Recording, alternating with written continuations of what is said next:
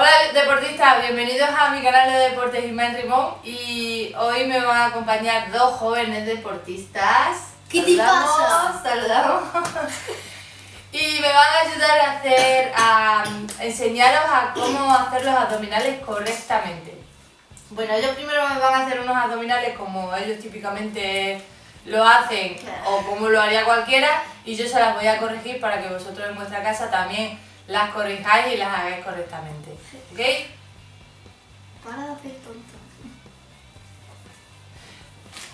Bueno, Sandra, eh, hoy nos va a hacer primero ella los abdominales y lo está haciendo incorrectamente. Tendría que separar los codos porque al cerrar los codos tiramos de la cabeza y forzamos las cervicales. A ver ahora. Bueno, mejor. Tenemos que levantar, ahí, levantar esta parte de aquí y fuerza los abdominales. Muy bien. Luego también otro fallo que cometemos.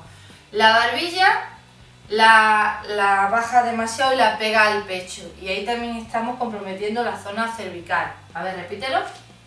¿Eh? Ahí está bajando mucho la barbilla. Entonces nosotros tenemos que subir como si mirásemos al techo. Bajamos, no, pero no, no hay que forzar tampoco el cuello. Bajamos el cuello, está la cabeza relajada porque está descansando encima de las manos. Entonces, sube ahí, así la barbilla, más o menos el tamaño de, de un puño, de, de- de su tamaño, claro. Ahí tiene que quedar. Entonces, bajo sin forzar el cuello, subo hasta. No, no levantes la barbilla. Ahí. Bajo y hasta ahí. Con el cuello relajado. Hasta ahí. ¿Sigue tú? Así, muy bien. Sin cerrar los codos. Bien.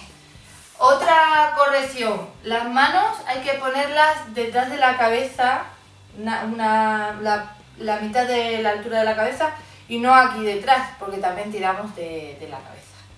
Bueno, muy bien. A ver, hazlas ahora bien. ¿Eh? No, no dejes los codos tampoco atrás. Tampoco hay que dejar los codos así atrás porque forzamos también la articulación del hombro. Muy bien, así mucho mejor. Hay unos abdominales fuertes. Sí, señor, muy bien. Bueno. Bueno.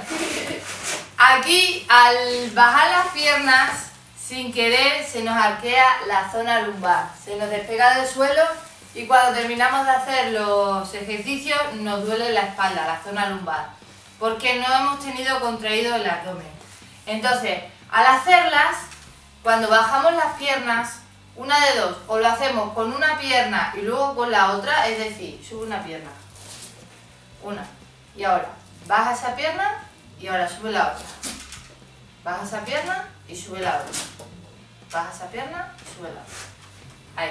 Bueno, así estamos trabajando también abdominales y no hacemos sufrir a la zona lumbar, sobre todo para los que ya padecen de hernia o tienen problemas de lumbalgia.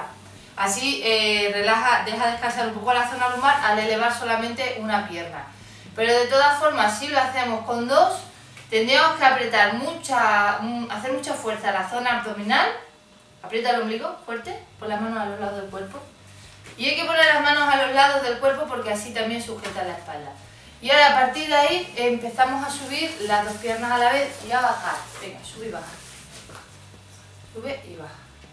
Al bajar es cuando hay que tener cuidado ahí de que no se nos arquee la zona lumbar.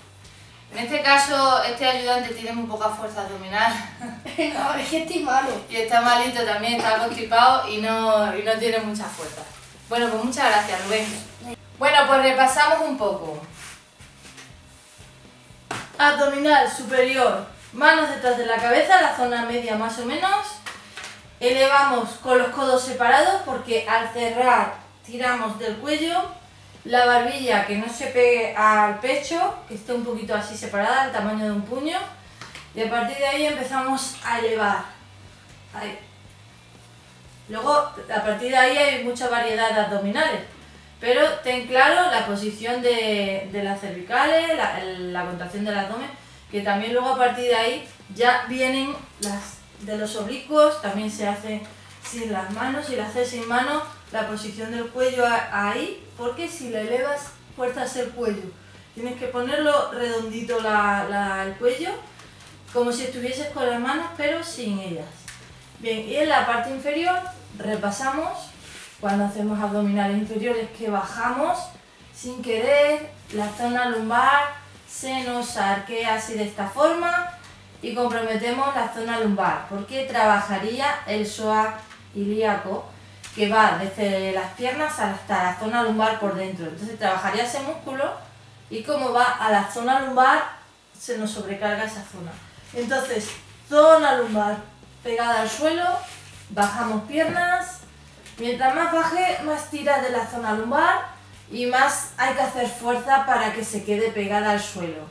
Ahí. Entonces, si veo que de todas formas me molesta la zona lumbar o suelo tener problemas de sobrecarga de esa zona, entonces puedo trabajar con una pierna, hago por ejemplo la mitad de las repeticiones y la otra mitad, o puedo hacer una y una. O también quedarlas arriba y bajar solo una y una. Y a partir de ahí, bueno, pues se pueden hacer infinidad de abdominales y elevar y siempre que la zona lumbar esté pegada y el abdomen contraído. Bueno, estos son los consejos de hoy para que tus abdominales los trabajes correctamente, les saques más partido a los ejercicios y que no tengas dolores ni cervicales ni de lumbares. Bueno, espero que te haya gustado, que les des a me gusta, te suscribas, que todas las semanas subo un vídeo de deporte o de salud y nos vemos la semana que viene.